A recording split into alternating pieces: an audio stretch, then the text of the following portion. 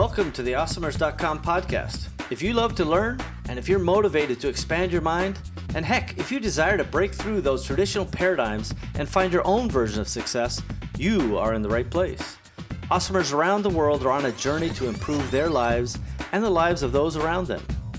We believe in paying it forward, and we fundamentally try to live up to the great Zig Ziglar quote, where he said, You can have everything in your life you want if you help enough other people get what they want.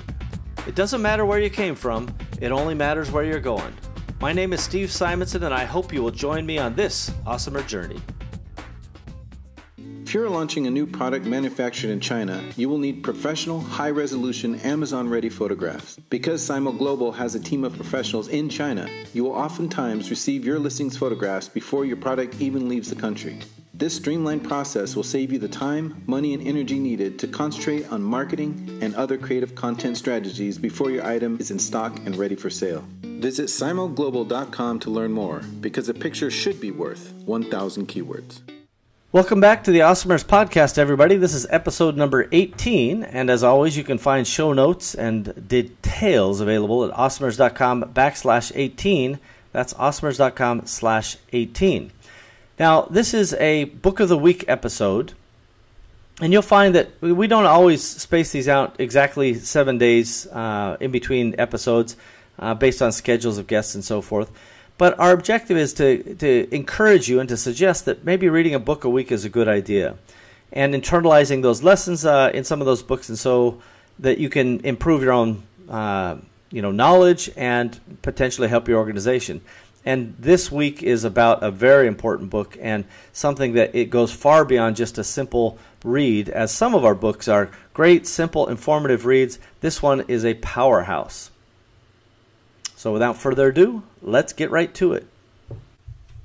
So today's book is called Strengths Based Leadership. And this is a book that uh, has been instrumental in many of my organizations for lo these many years, probably well over, I don't know, 10 or 15 years. Uh, I really don't know the exact count, but we definitely believe in the philosophy that is put forward by strengths based leadership. And we're going to talk about what that philosophy is and why we think it's particularly important to pay attention to. One of the, the most important aspects of this is the fact that it's based on research, it's based on science. And, and what we know is that patterns and behaviors within human beings are consistent. Somebody who has a particular pattern of behavior, they found these these uh, you know consistencies along the way, and they're able to kind of help predict where somebody's strength is based on some of the things that they've seen over the course of time. It's a fascinating uh, situation. So this is not a horoscope where you go in and the fortune teller, you know, pulls out some tarot cards or breaks out the crystal ball and and tells you the what uh, tells you the four one one, so to speak. This is real science and it's backed by years and years, decades even, of research. So in recent years, uh, while, uh, while continuing to learn more about strength, Gallup scientists have been examining decades of data on the topic of leadership specifically. They've studied more than 1 million work teams. Now think about that. How do you study 1 million work teams? But Gallup is amazing at that. They've conducted more than 20,000 in depth interviews with leaders and have even interviewed a, another 10 or 100,000 more followers to ask them why they followed the most important leaders. They've, they've done tens and tens of thousands of these over the course of time. There are so many amazing statistics about what make each one of these tests unique and comprehensive. The nature, the data, the science that's gone into this book, and the the assessment that's a, a component of this book is really, really important. I'm going to save some of those amazing statistics for some future episodes. Well, we'll bring on a strengths based leadership trainer to help us understand some of the background. Now, I do want to explain that within the book, and even if you get the ebook version or audiobook version, you'll get a way to find your secret code. And this code will help you unlock an assessment test. In the book, it's at the back of the book, and you cut the uh, area open and you go to the Gallup website that's uh, indicated on the, the code area, and then you enter your secret code. And then it takes you about 30 minutes to conduct your assessment. Now, I sometimes I call it a test, but it's not a test. There's no pass fail. This is an assessment to determine what your strengths are, what your natural strengths are part of your wiring. Now, Gallup calls them themes. And these themes are what they want you to focus on uh, developing and getting good at, versus where we're commonly focused is on our weaknesses. And some of the stories that, that have been meaningful to me are, and this is actually how Gallup got into the, the business. Uh, sometime long ago, uh, decades now, a school district hired uh, Gallup and, and the team to say, hey, we want to figure out why our students don't read as fast. We have some slow students. We want to help those slow students, the weaker students, read faster. So we want you to teach them about the speed reading or whatever the, the case was. And what they found, they, they applied this speed reading course or whatever the curriculum was. I don't remember the detail precisely. But they applied the, the remedy and they did it across the whole student body. So this, the ones who are already good readers and the ones who are not so good readers. And what they found is that yes, the, they were able to take the weak readers up to the average. And that was great. Mission accomplished. High five. Let's roll out the banners. But the more important discovery was those who were already strong at reading, who, who had that strength built into them, part of their wiring. They quintupled their performance in reading. So they didn't just stay at the average, they quintupled. So their, their improvement was so much more substantial than the those that were not strong at reading. This got the the scientists and the folks behind Gallup really diving into what does this mean and why would this happen, and it helped really create this whole philosophy that we should be focusing on strengths versus weaknesses. In school, it's a common process for all of us to go through and we look down you know our, our report card or our child's report card and we go hey you got an a here a here b here uh, you know b here but you got a D and an F here. And of course, what's our advice? Focus on the D and the F. Let's get that going. And the reality is, you know, we want to encourage ourselves, our kids, to achieve whatever uh, minimums are necessary to accomplish our goals. But th- the real takeaway is where you're getting A's, where you really love to hang out, that's your areas of strength. And this assessment that's in this book will show you your areas of strength and we're going to talk right after this sponsorship break about my a few of my strengths and I'm going to take you for a deep dive into those strengths and talk about why I think it's really interesting. So we're going to be right back after this. Hey Amazon Marketplace professionals, this is Parsimony ERP, and we get one question over and over. Can you please tell me exactly what Parsimony does? Well, we'll try, but this is only a 30 second spot, so we're to have to hurry. Connect to your Seller Central account and pull all the new orders. Enter the orders with all customer data. Enter all of the Amazon fees and charges. Store them at the item level. Generate profit and loss reports at the SKU level.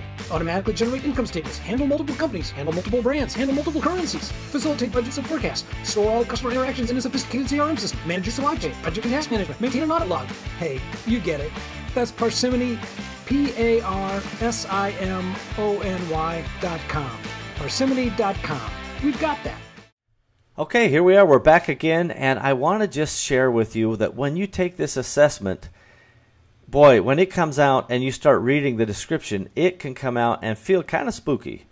Uh, when I when I read not just the, the quick version, which I'm going to share some some uh, bits of that with you today, but the more comprehensive version, which is custom made for me. It's it mixes my top five themes or strengths, and it overlays those, and it talks about how those manifest themselves or are likely to manifest themselves in my life and in my my career. And I'm going to share some of those with you today. So, uh, some of my top five strengths are responsibility, self assurance, relator, ideation, and learner. Now, Gallup has taken the opportunity to make some of these words up, which is great. Uh, and and then they define those words within the, the book itself. And I, I do want to back up a second. And for those who may not know, Gallup is a long term statistical and data organization. They do presidential polls. They used to do, and probably still do to some level, uh, figuring out who's watching what on television. Before the internet, they Gallup installed all these set top boxes to figure out what people were watching, and then did all the statistical analysis to determine you know what they were watching, why, when, and what that meant about you know the the shows themselves and the people watching the shows, which told advertisers all about you know what they should be doing and where they should be advertising. So Gallup has a long, long history, and I, I would say a proud tradition a very, very well respected organization at collecting data and then figuring out what it means. So you may uh, have heard me talk about my strengths, and I'm just going to break them into the different buckets that uh, each of my five themes fall into. So that first, there's the execution bucket. Uh, or executing, uh, which is the operational part of a business. And my responsibility strength falls directly in kind of that operational element of the, the running the business. And we'll talk about responsibility here in a bit as well. Uh, under influencing, this is you know how people around you are impacted. Uh, Self assurance is what falls in that bucket for me in, in my particular top five strengths. Now the next bucket is called relationship building, and that's I'm a relator. So this is how I go about building relationships. And then the final bucket is strategic thinking which includes my final two top five strengths ideation and learner. So, uh, the reason I, I point out these buckets is because on your teams, you want to make sure that you've got a broad range and that on your team you have enough of these strengths in the appropriate buckets. And particularly when you have somebody who should be focused on operations, it's it's mentally it's a nice feeling when they have some of these strengths that show up in those buckets. But I'm to I'm going to explain and give you an example of why just because somebody is a great execution person doesn't mean they can't be great at sales, or somebody who's great at relationships can't be great at finance. All strengths have the potential to be your foundation to do any job, to lead any company, and to accomplish whatever your objectives are. So let's talk a little bit about my first strength, and I'm I'm going to you know share it with you in detail just so you can get a sense of what it talks about. Now, if you got ideation, yours might be a little bit different than this, but this is the general thing that it told me about my ideation strength. It says, by nature, you bring new thoughts to most discussions and meetings. Your reputation for innovative thinking explains why you are recruited by groups. You derive satisfaction from mental activity. You recognize when you are especially creative. Driven by your talents, you ask questions. You ponder answers. You find the underlying causes of a situation, problem, system, mechanism, plan, regulation, or prohibition. Right? I always want to know what's what's at the heart of something. Logical and ordered in your thinking. You study every detail, however small. You are determined to examine the facts. Because of your strengths, you customarily generate more concepts than anyone else on the team. I also, by the way, call those harebrained schemes. I don't call them concepts. I'm like, hey, I got a new harebrained scheme. Knowing this probably motivates you even more to be prepared for upcoming meetings, presentations, activities, conversations, or debates. You have a gift for capturing and holding people's attention. You probably describe your latest thoughts, innovations, solutions, theories, or answers in ways that make sense to your group's members. We'll see. Maybe this podcast will uh, prove this thing wrong. Uh, as a result, you intentionally commit to memory complicated and intricate words as well as specialized terminology. You use language to your advantage in situations where you desire influence, conf- you desire to influence, confront, make demands of, or issue orders to people. Your vocabulary allows you to speak with authority. It's very likely that you see yourself as an inventor of unusual and innovative things to do, or something like that. You grow weary and bored with activities when you're forced to perform them in a prescribed and traditional manner. Your frustration increases when you know there's a better method, but no one is willing to consider changes you, suggest. Now, I, I read this entire thing just to give you a sense of what that ideation strength is. When I read that, yes, many of these things are just right there in my face. It's like, how do they know? When, when they do the assessment, it's remarkable the questions they ask you. They don't say, Do you have a lot of ideas? Click yes, right? They don't say, Are you able to capture and hold people's attention? Click yes. They ask you questions like, you know, do you like to drive a car? do you like to be a passenger in a car? You know, are you good at uh, you know washing dishes or drying dishes? I'm giving some some examples that may or may not be on the assessment. My point is the questions. There's no way you can outsmart this thing. And when you do the assessment, my best advice to you is that you just pick a side. So the it, it'll have you know kind of more likely or less likely on a scale, and if you go right in the middle, that's considered neutral, and it disregards the neutral answers. And if you a- answer too many neutral answers, then you're not going to get, I think, a very good reading. So whichever way you're inclined, whichever way your instincts, you know, more likely or less likely on whatever scale they give you, just click one and move on to the next question. You are timed, and it will time out if you take too long on a particular thing. If you heard me read this and you said, "Hey, some of those things." Um, you know, resonate with me, you may have ideation as part of your strengths. Let's look at another one. Uh, responsibility, and this is one of my uh, I put strengths in quote here. Uh, it's not something I feel particularly strong. Uh, although all of these things are true, it doesn't feel like a strength. It feels like a burden, and I'll show you why in a minute. So I'm going to read this one out again and see if this sounds like you, uh, or it could be part of your strengths as well. Driven by your talents, you stand out as notably mature. You are reasonable in your thinking. These two qualities usually distinguish you from many of your peers and friends. Instinctively, you are consistent in your core values and predictable in your actions. People are likely to know that you go to great length to do things right and behave in an ethical manner. It's very likely that you sometimes open yourself to diverse types of people. You ordinarily welcome individuals who would otherwise feel out of place or ignored. Because of your strengths, you volunteer for additional duties. Uh, hashtag this is where it gets ugly for me. You really enjoy being given authority over projects, individuals, or groups. You expect to be held accountable for the results you produce, as well as your words and deeds. By nature, you normally strive to do things right. Taking shortcuts strikes you as unprincipled, thoughtless, and careless. You likely refuse to produce sloppy work or engage in unethical practices. Now, this definitely is it's a blessing and a curse. I'll tell you what, because part of having the responsibility as a strength is the reality that if if I try to do the right thing and I try to get things done, but I tend to take on a little too much, the dark side of the strength, and we'll talk about uh, the dark side is actually not the official word. They call them barrier labels. The barrier label to this strength is that it's hard to say no.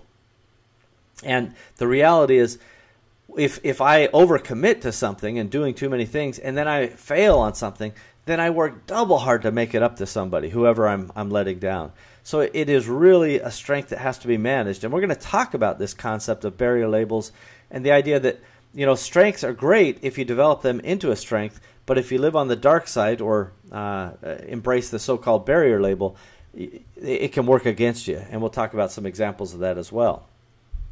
So the final one, I won't read uh, too much of this, but it's called relator. And I, am going to just give you some blurbs of this because I think this is you know part of what I, I like to do. Besides hanging out with my kids, hanging out with entrepreneurs is my favorite thing to do. And I, I definitely find people around me that I tend to stick with over long, long courses of time, decades, in fact.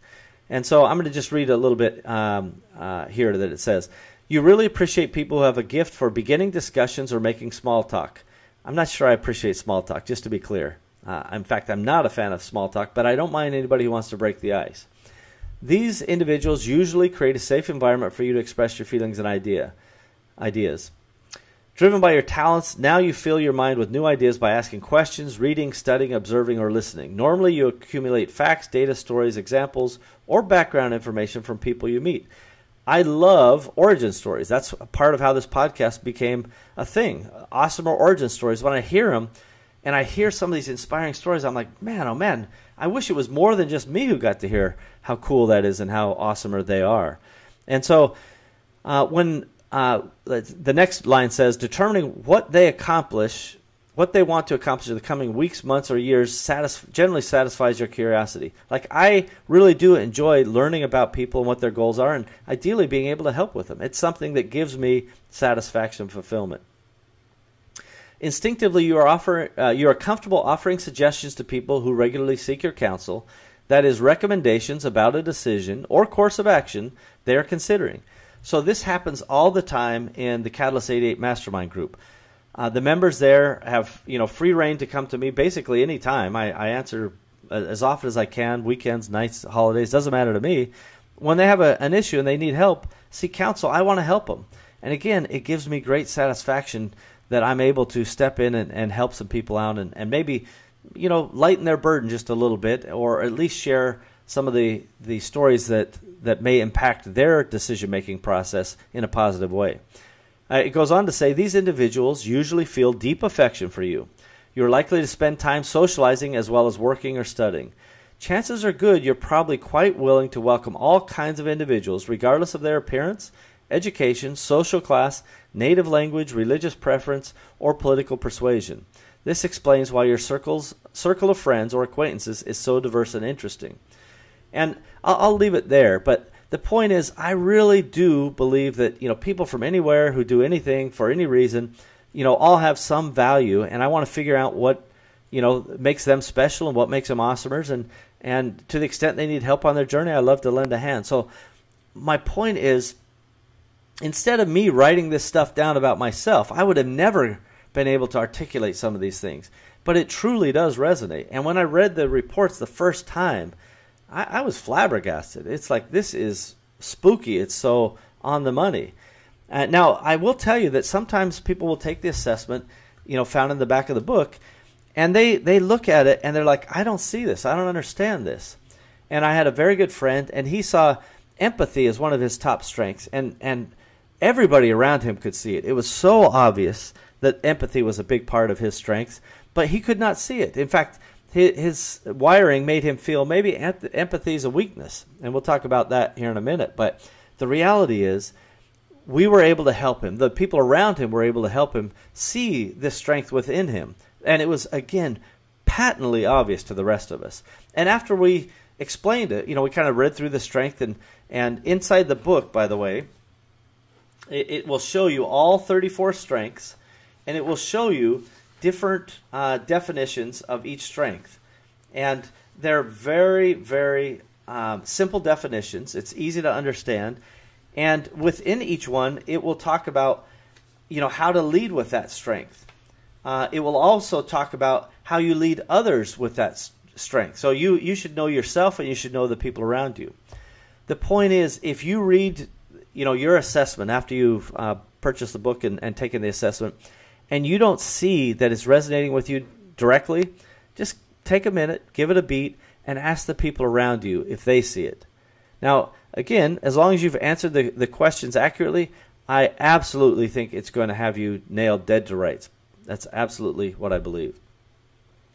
All right, so let's talk about some different strengths.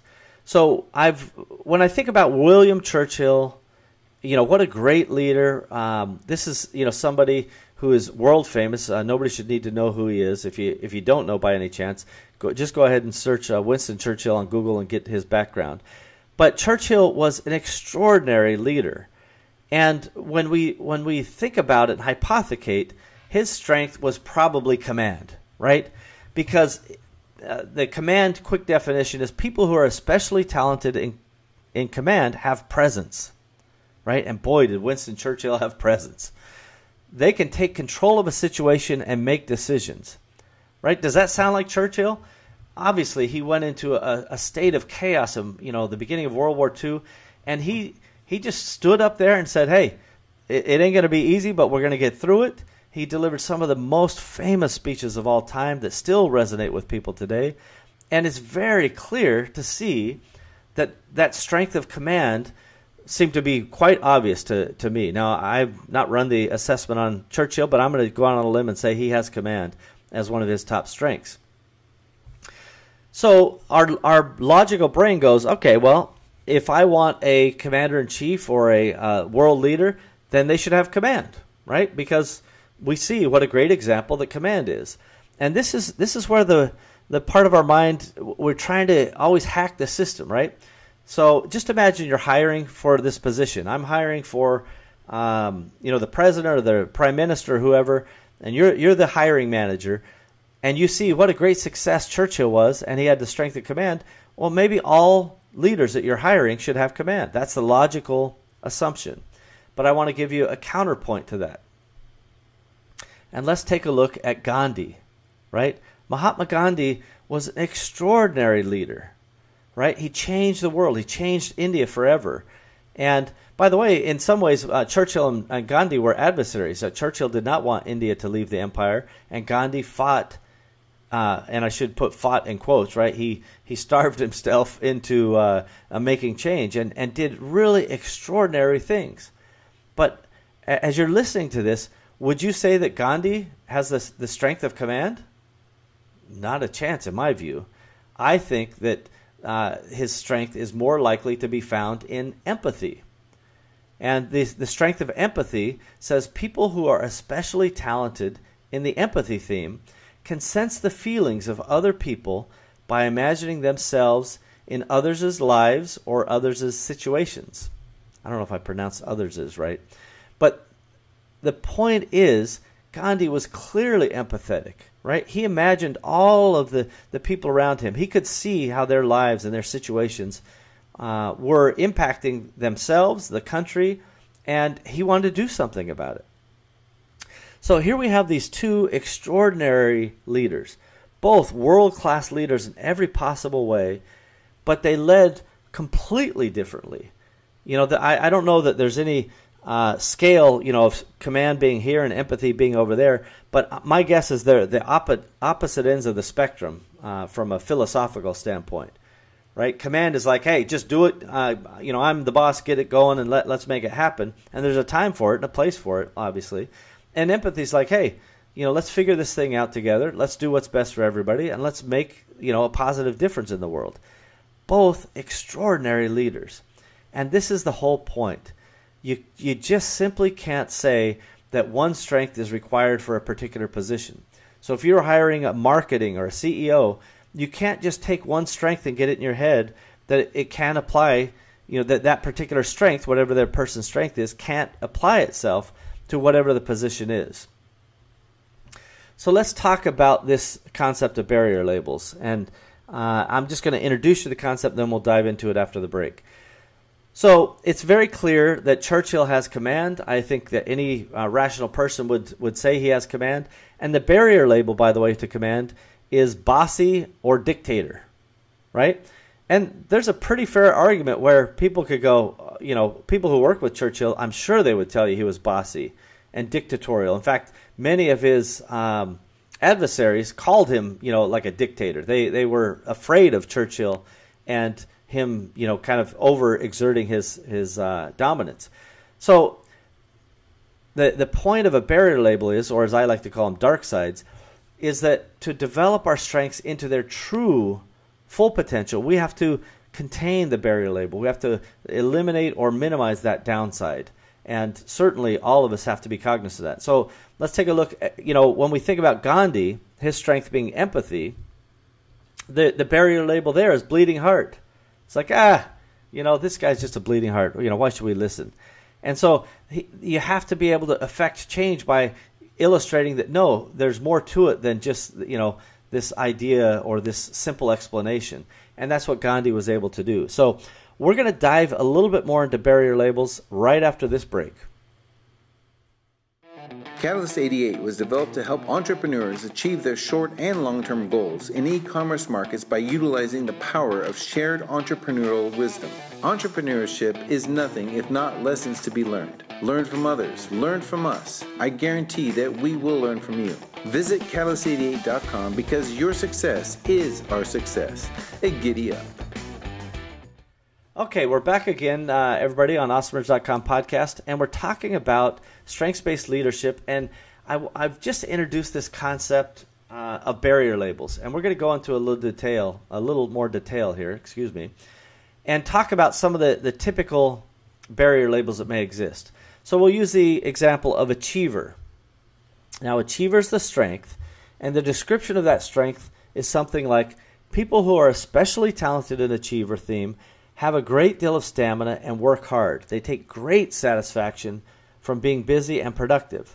Now, achievers are people who they want to they want to make a difference on the and beat their own personal best, right? Whereas competitive is like I want to beat the other guy no matter the cost. So that you can have both achiever and co- competition, by the way, both being different strengths. But achievers about you know doing your personal best. You're likely to make a lot of lists and, and things like that, to do lists. And when you check them off, you get a high. You're like, oh man, I'm getting so much done. So that's that's an achiever. Uh, now, a barrier label for an achiever is somebody that says work is more important than people. And you could see how you know somebody who's working really hard and trying to to beat their personal best could have that perception amongst the people around them. So we have to contain and minimize that barrier label, uh, or as I like to say, the dark side. So, analytical, let's just talk, take that as an example. Uh, people who are especially talented, oh, yeah, excuse me, people who are especially talented in analytical themes search for reasons and causes. They have the ability to think about all the factors that might affect the situation, right? And so they're really, really good at looking at the data, digging in, and then they theorize about the causes, and then they try to prove it with data. Now, the dark side or barrier label is paralysis by analysis, right? Maybe these people have a hard time making decisions. And so, as we think about the strengths, we want to have a variety of strengths on our team. We want to minimize the weaknesses. But one of the most important aspects of this is if we let the barrier label or the weak or the uh, the dark side run amok, the strength can actually be somewhat of a liability. Let's take a look at another batch of barrier labels. So, a learner, people who are especially talented in learner theme, have a great desire to learn and want to continuously improve. Improve, excuse me. In particular, the process of learning rather than the outcome excites them. Now, I have learner, by the way, and I love to learn, right? And this is why I'm doing books of the week and why I'm always, you know, trying to do things that, you know, help me stay engaged.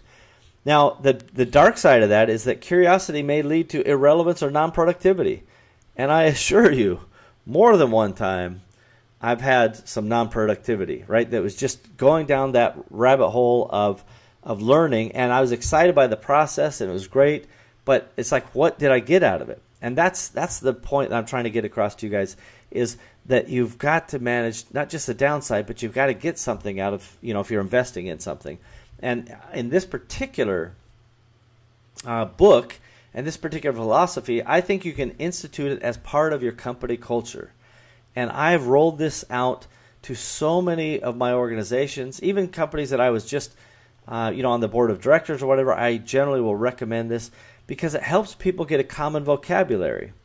And what happens is when you get uh, the strength for your colleagues and coworkers, they're able to come to me even and they say, "Hey, Steve." Uh, put your learner on ice for a minute. You know, just just give it a second. We need to get some stuff done. We need to stop learning and maximize the result. I'm going to read the maximizer theme just very quickly or summarize it. Basically, maximizers tend to focus on strength as a way to stimulate personal growth and group excellence. They want to transform something strong into something superb, right? So they want to take something that's already strong and make it really, really great. Now, a restorative strength is taking something that's not so great and turning it into something great. And so, you know, maximizers are, uh, you know, the barrier label is picky, never satisfied. So when you get ideation and, and learners mixed with maximizers and focus type people, you, you get a little natural uh, conflict in there, but that's okay because you want both sides of the discussion and then maximizers are going to push you to make a decision, and learners are going to push for new ideas. So that's why it's important within an organization to understand the strengths and to help people feed those strengths. It's really so important that instead of trying to beat somebody down, let's say they're in the uh, this uh, sales type of position, and they are just not making enough sales and you realize, gosh, they're they're all about focus and maximizing and kind of back end analytical things instead of front end relationships and influencing and other types of things. So you just find their individual strength. And again, the book is a great reference material. I'll tell you how to use it here in a minute. Um, it tells you how do you lead with each individual strength? How do you lead with responsibility? And it will also tell you when you're managed by somebody who has responsibility, how to deal with them. And I think this is a great example. Not only should you know yourself, but you should know the people around you, particularly if you work for somebody.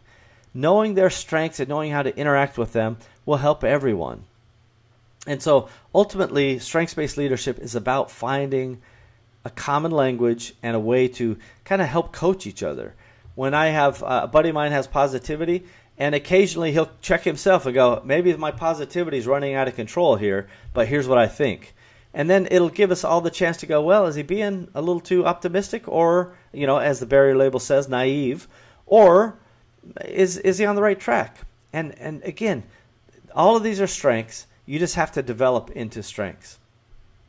All right, so now that you uh, you know have heard a little bit about this book, and I want to just share what I recommend your action steps should be. Uh, number one action step: buy the book. Do not read the book.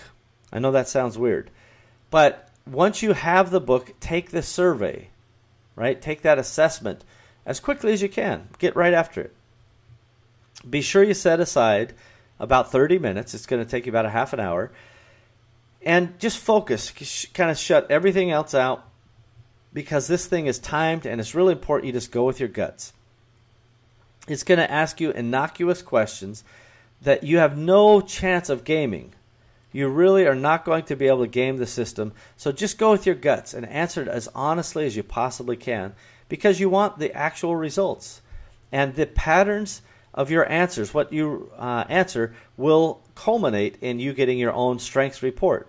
Now, once you have that report, read the report. Notice I haven't say read the book yet. Read the report and kind of dig into it, learn about those strengths a little bit, and see if it resonates with you. I would love to hear some feedback uh, for those of you who buy and read this book and hear your experience. But I've talked to so many people, it's like, oh my gosh, this thing is like in my head. I don't know how it knows this stuff. I didn't answer any questions that would tell it all of these things, yet somehow it knew. And I, I just like to reinforce here this is not some nutty horoscope thing. This is science. This is real data and real behavioral patterns that are helping us accomplish this very important objective. Now, after you read the results, go ahead and check out the strengths in the book, where you get a little bit more generic description about those strengths. And it'll talk about how you can lead with you know various strengths, analytical and otherwise. Um, how you you know build trust and show compassion and provide stability and create hope, and then most importantly, how you lead others that have focus as a strength, which I think is a, a really I, I use focus as the the example there. The the point is knowing yourself and knowing those around you will help communication. It will help you interact as well.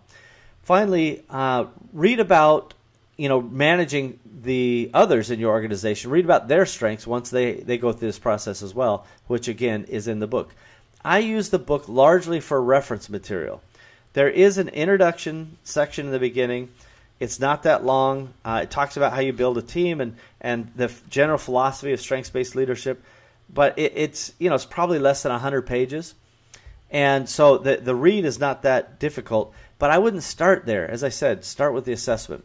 And then finally, you have to consider whether or not you want to share this with your team. If you have a partner, I would definitely share it with your partner because partnerships are often tumultuous, right? You know, you got into a partnership, but there's there's friction, there's tension here or there. And often it's because strengths don't see each other as strengths.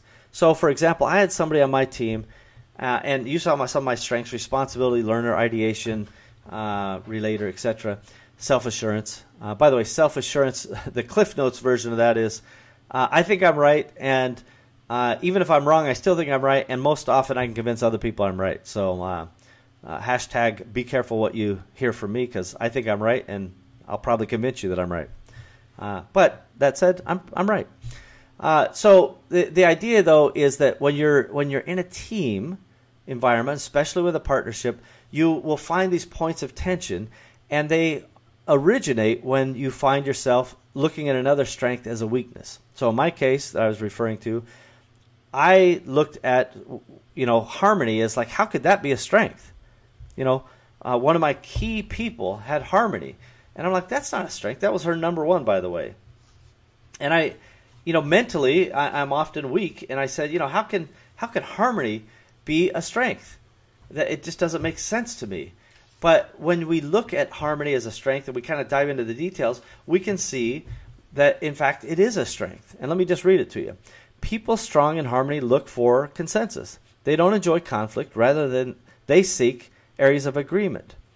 And what it means is the way that she approaches things and solves problems is far different than the way I approach it.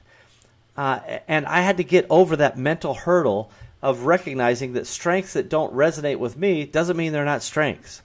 And we use the Churchill Gandhi example, which is a good one, to show that, you know, it doesn't matter the strengths. Every strength has value. Every strength can lead an organization. Every strength can also work in any position. Although I admit my own weakness, and Gallup might call this uh, strengths malpractice, but uh, I'm not a certified guy, so I'll just go on a limb. If if people are in sales positions, I like it when they're achievers and they have competition in their top strengths. That makes me feel good. Doesn't mean somebody with harmony and empathy can't sell like crazy. Uh, I'm not opposed to that idea. It just makes me feel good uh, because of the uh, you know my weak mind, I suppose. So I, I, I just want to kind of summarize this book uh, for you one last time. Strengths based leadership really pushes this philosophy that we focus on our strengths, that we do not waste our time on weakness, and that within our organization we should have a full complement, a a nice round wheel of strengths throughout the team. Each individual doesn't have to be well rounded, but the team should be well rounded. And that's always an important core to strengths based uh, philosophy and something, again, that I highly believe in and encourage people you know, to kind of learn your strengths. You can share the strengths with us in some of our online communities, and we can talk about them. And we will do more sessions about strengths based leadership in the future. So this is an underlying philosophy, and there's a lot to it. How you develop yourself, how you develop your strengths, and how do you develop your organization and the culture of that organization. And so this is a very important, uh, you know, kind of foundational piece uh, to helping everybody out there kind of grow a business or develop a, a culture. Uh, and I, will leave a couple last little uh, free tidbits for you. Uh, organizations like Facebook are putting strengths uh, the strengths uh, leadership or strengths finder into the process. So Sheryl Sandberg talks about Facebook becoming a strengths based organization. And they're able to retain people and recruit people significantly better than their competitors. And we'll probably share some of those statistics with you in the future. But they hold people better than Microsoft. And some guys will go, oh, Facebook, uh, maybe that feels cooler than Microsoft to, to people out there fine, they're beating Microsoft, you know, like 45 to 1 in terms of employee retention. The employees they get from Microsoft, they get 45 for every one they lose to Microsoft, something like that. And by the way, I may not have the number exactly right, but it's around there. Um, now, we look at another company like Apple and go, well, you know, Apple, that's a world class company. No way it's going to lose to, uh, to Facebook. Yet Facebook uh, still has something like a 10 or 11 to 1 ratio of getting employees from Apple versus Apple getting them from Facebook.